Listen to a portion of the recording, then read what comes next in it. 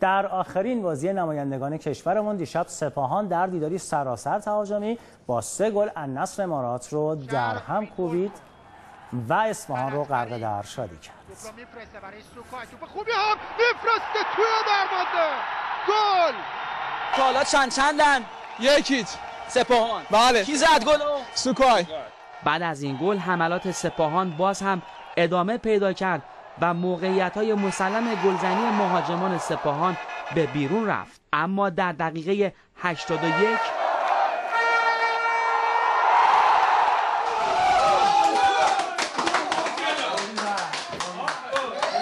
جواهی سوکای آفرین. گل دوم. خیلی عالی بود. و در دقیقه 86 تیر خلاصی نماینده امارات زده شد.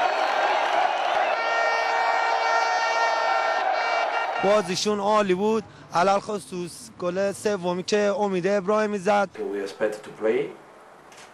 قبول دارم طبق انتظاری که داشتیم بازی نکردیم و نتیجه هم کاملا درسته حق سپاهان بود که برنده این بازی بشه. نیتی برونو سزر نیتی مسکارا انقدر خوب بازی کردیم که اونا اصلا نمی‌تونستن شانه به شانه ما بیان. من تبریک میگم به بازیکنان خودم ولی همچنین به النصر امارات به خاطر یک بازی جوان مردانه خوب. بعد از به صدا درآمدن سوت پایان این دیدار هواداران سپاهان شادی کنان از ورزشگاه فولادچر به سمت اصفهان حرکت کردند.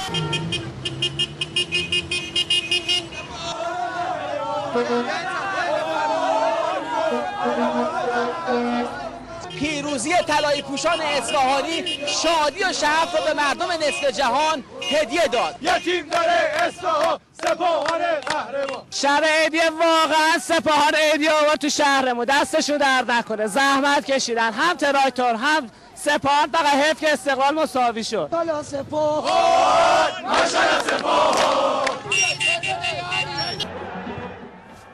اما استقلال دیشب در دیداری خارج از خونه برابر ارایان قطر. به تساوی ارزشمند سه سه دست یافت البته آبی پوشان سه بار با گل‌های ساموئل برهانی و نکونام از میزبان خودشون پیش افتادن. اما پس از هر گلی که زدن یه گل خوردن و در پایان هم بازی مساوی شد.